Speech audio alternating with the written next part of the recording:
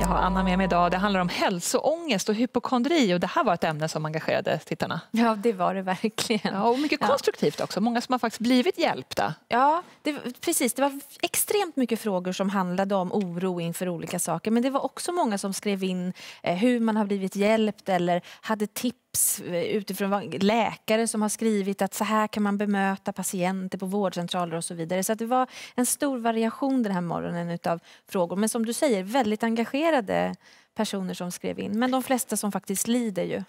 Ska vi försöka riva av de här Anna, Ja, vi så att vi hinner med så mycket som möjligt? Ja. Tina skriver så här, hej jag har ångest över det mesta, till exempel livrädd för att få hjärtinfarkt av att anstränga mig, till exempel av att städa, tvätta, gå i trappor och så vidare. Hur botar jag det här? Äter man antidepressiv medicin?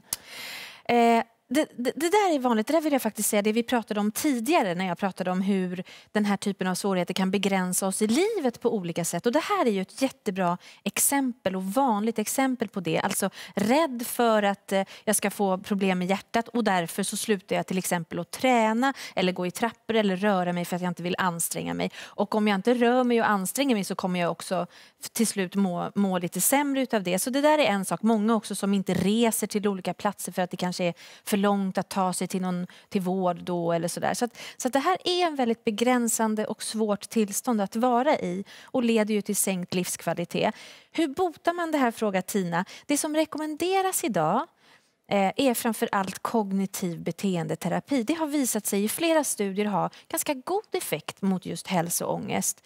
Eh, Så det är någonting jag, ska, jag rekommenderar att man faktiskt efterfrågar om man vill ha hjälp med den här rädslan och oron inför att bli så här allvarligt sjuk. Och vad är KBT bara för de som inte vet Anna? Ja. KBT, är- och eh, ett kort svar på en komplex fråga, det är en, eh, egentligen beprövade metoder som riktar sig till olika typer av svårigheter. Alltså en, en terapiform där man eh, kartlägger hur ser din hälsoångest ut, i vilka situationer är det här problematiskt och så vidare. Och sen så gör man olika insatser som jag tror att vi kan komma in på det i, i de här frågeställningarna, lite grann vad, vad man kan göra åt det, vad man gör under tiden. Så här skriver nästa tittare. Min sambo har under en lång tid googlat olika symptom på något han tror är någon slags nervsjukdom. Han har varit hos flera läkare, gjort neurologiska tester men ändå ser allting bra ut. Men han är fortfarande orolig.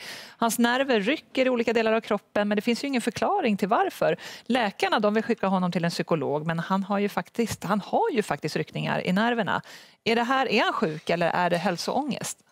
Ja, det där är ju en av de komplicerade komponenterna vid den här typen av problematik. Det går inte att veta till 100 000 procent om man är fullt frisk eller om någonting är problematiskt. Så det här är någonting som är väldigt vanligt också. Och i det här fallet så handlar det ju om att man får kanske bestämma sig. Hur många kontroller ska jag, är rimligt att jag gör?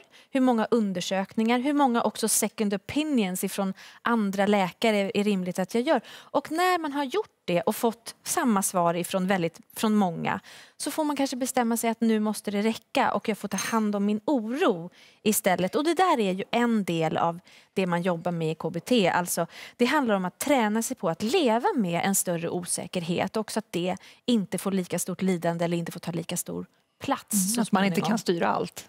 Precis. Oskar skriver så här, jag är 22 år och varje dag rädd för att bli sjuk. På vårdcentralen så skickar de mig till en kurator men hon verkar inte veta vad hon ska göra. Ställer allmänna frågor om min uppväxt och så vidare. Jag är orolig ändå att jag inte får rätt hjälp. Jag tror inte att det finns en psykolog här. Jag bor i en liten by. Var ska jag få hjälp då? Ja, det där är egentligen två frågor och en. Och, det jag vill säga är att det finns ju hjälp att få, men man behöver ju gå till någon som kan behandla problemet på rätt sätt. Om, om vi har ont i örat så går vi inte till en, en en ortoped eller till en hjärtläkare utan man måste ju gå till någon som kan. Det är ingen idé att prata om, om barndom flera gånger eller hur man har haft det i sin uppväxt om man har den här typen av svårigheter bara, för det kommer inte hjälpa naturligtvis. Eh, det finns nu, vill jag säga, till den här personen och också till alla andra som sitter i mindre orter där det inte finns hjälp på samma sätt. Att när det kommer till hälsoångest så finns det internetbaserad behandling som har visat sig ha goda resultat.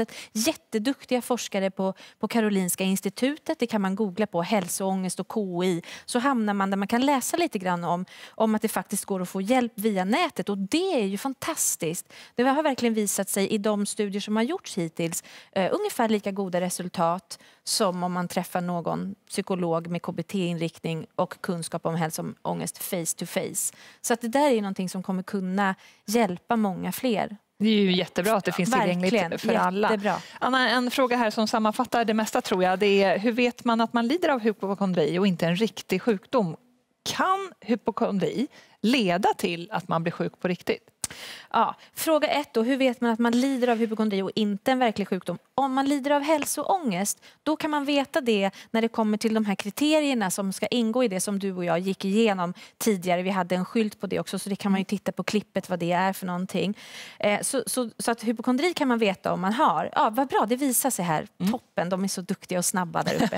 eh, om, man, om man samtidigt är eller kommer bli sjuk av någonting annat, ja det kan vi ju aldrig riktigt veta som sagt. Sen den här frågan om man kan bli sjuk av hälsoångest så är det ju inte så att för att jag känner mig jättesjuk så kommer jag bli sjuk. Så är det ju inte. Däremot så är det ju så att om vi lider av skräck, oro, rädsla konstant under en väldigt lång tid så kommer vi ha ett påslag av sympatiska nervsystemet som leder till lite ökad puls och spänningar i nacke och axlar och lite magkatarrer och lite andra typer av svårigheter. Så det är klart att man har allt att vinna på för att kunna må bättre på andra sätt också. Att eh, ta hjälp eh, för de här svårigheterna. För det finns ju hjälp att få. Vad skönt att avsluta i det, Anna. Att det Ja. finns hjälp att Jag få såg för att tiden alla också. rann iväg.